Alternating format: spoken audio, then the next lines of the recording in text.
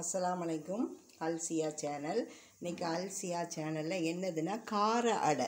இந்த கார அடை எப்படி பண்ணணும்னா இந்த கப்புக்கு ஒரு கப்பு புழுங்கலரிசி இந்த கப்புக்கு ஒரு கப்பு புழுங்கலரிசி அரை கப்பு கடலைப்பருப்பு. அரை கப்பு அந்த கப்புக்கு வந்து தோரம்பருப்பு அதுக்கப்புறம் தோல் உள்ள சிறுபயிறு அரை கப்பு. போட்டு ஒரு அஞ்சு பல்லு பூண்டு கொஞ்சம் பெருங்காயம் இந்த ஸ்பூனுக்கு அரை ஸ்பூன் பெருங்காயம் அதுக்கப்புறம் வத்தல் முழு வத்தல் ஜீரகம் எல்லாம் போட்டு உப்பு போட்டு இந்த முதல்ல வந்து இந்த பயிர் வகைகளை வந்து நல்லா ஊற வச்சிடணும். அதோட ஒரு ஸ்பூன் இந்த ஸ்பூனுக்கு ஒரு ஸ்பூன் நிறைய கருப்பு உளுந்து போடுங்க. இல்லைன்னா ரெண்டு ஸ்பூனும் போடலாம். போட்டு ஊற வச்சுட்டு அதுக்கப்புறம் நம்ம அரைச்சிடணும். அரைச்சி நாட்டு உள்ளி சின்ன உள்ளி இருக்குது பார்த்தீங்களா அது நூறு கிராம் பொடியாக நறுக்கி கைப்பிடி ஒரு கைப்பிடி அளவு கருவேப்பிலை மல்லி புதினா மிளகா எல்லாம் நறுக்கி இப்படி போட்டு இப்படி மாவு கணக்காக ஆப்ப மாவு பதத்தில் வச்சுக்கிடணும். இதுக்கு நல்லெண்ணெய் தான் விடணும் நல்லெண்ணெய் நல்லது.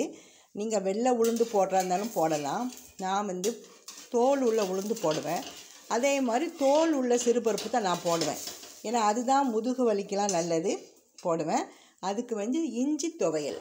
இஞ்சி தேங்காய் புளி வச்சு பூண்டு ரெண்டு பல் வச்சு ஒரு துவையல் அரைச்சி வச்சுட்டேன். இந்த அடைக்கும் இந்த கார அடைக்கும் இந்த துவையலுக்கும் சூப்பராக இருக்கும். இதே மாதிரி மீதி இருக்கிற எல்லா மாவையும் நம்ம ஊற்றிக்கிடலாம் நல்லெண்ணெய் உடம்புக்கு நல்லது. நல்லெண்ணெயும் இதில் நிறைய விடுங்க.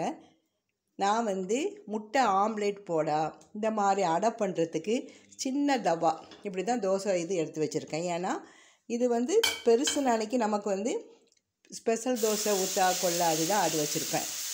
இது வந்து டீயும் கேஸும் மிச்சப்படும்.